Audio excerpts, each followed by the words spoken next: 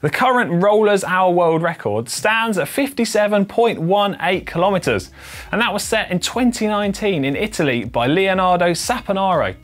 Here on GCN Tech though, we can't just take the approach of trying harder and hoping for the best. No, no, no, no, no. What we need to do is use the best tech available to try and make life as easy as possible and help me ride as fast as possible.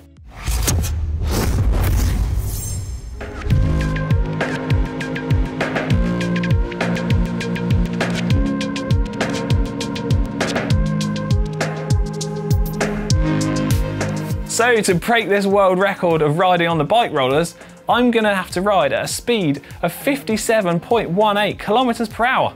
And normally, riding at that speed, aerodynamics would be everything.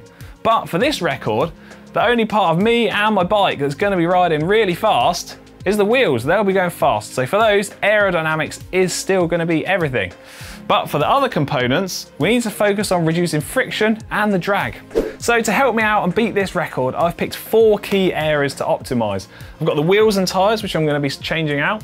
I'm gonna optimize the drivetrain, the gearing, and the bike rollers themselves, because look at these. They're out of my garage and they're a little bit tired and rusty, but they're still perfectly up for the job.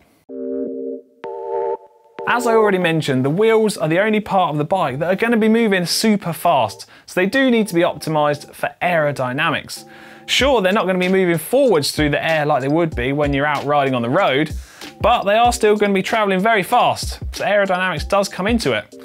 And Vision have helped me out here and supplied me with a Metron 80mm front wheel and a rear disc wheel for the bike. And these are Vision's most aerodynamically optimised wheel set Designed for time trials, so these are going to serve me perfectly well. Paired with these, I'm using Pirelli tubular tyres. And normally I would opt for tubeless tyres, but for this record attempt, I need to use incredibly high pressures in the tyres to reduce the friction as much as possible. And unfortunately, a tubeless system just isn't designed for those super high pressures. So I'm gonna be pumping these tubular tyres right up to their maximum working limit. It can be quite an annoying and fiddly job gluing tubular tyres onto the wheels, but some kind person here at GCN Megabase has already done the job for me. Optimising your drivetrain is something everyone that races should consider doing because when you're racing, every last watt counts. Sure, it's not crucial for your weekend rides, but when you're racing and competing, it's well worth considering. And to help me out, the guys at Muc-Off have sent out their Nano Chain, which is hands treated with their unique blend of waxes and oils and is possibly the world's fastest chain available commercially.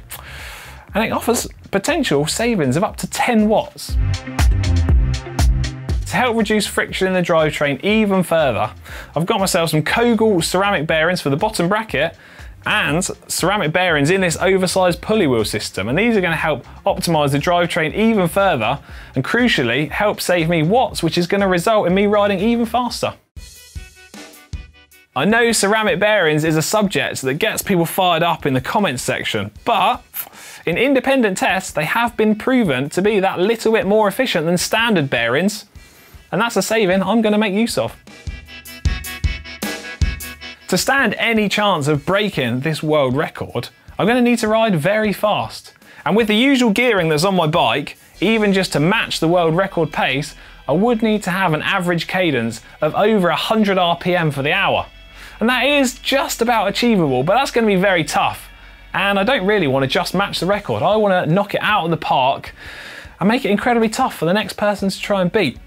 To help me do that, I'm going to be using this ginormous 62 tooth Drag2Zero aero chainring to help me do that.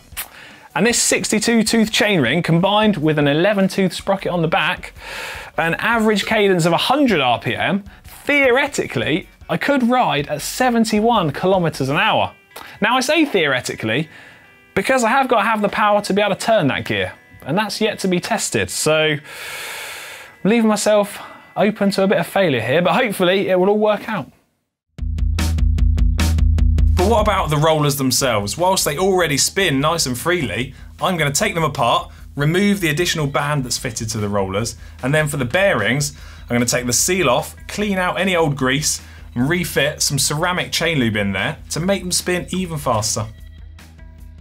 Right, I'm going to need to make a start on getting all of these parts fitted and getting the rollers stripped apart and cleaned out, ready for some fresh oil, which I guess should probably take, what, 30 seconds or so?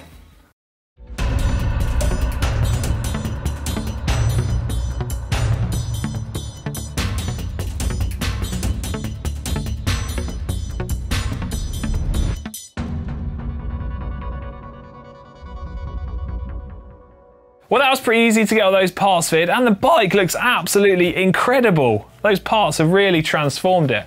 And to record my efforts, I'm not only going to be using one Wahoo head unit, but I'm going to use two. And these are going to be paired up to two speed sensors that are going to be fitted to my front wheel to record my efforts. And I'm also going to calibrate those sensors in the Wahoo companion app to make sure everything is as accurate as possible.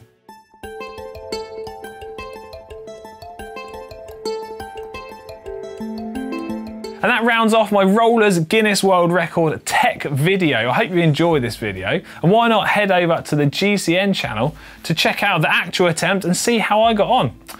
Please let us know in the comments section down below what kind of setup you choose for taking on the world record hour yourself. See you later.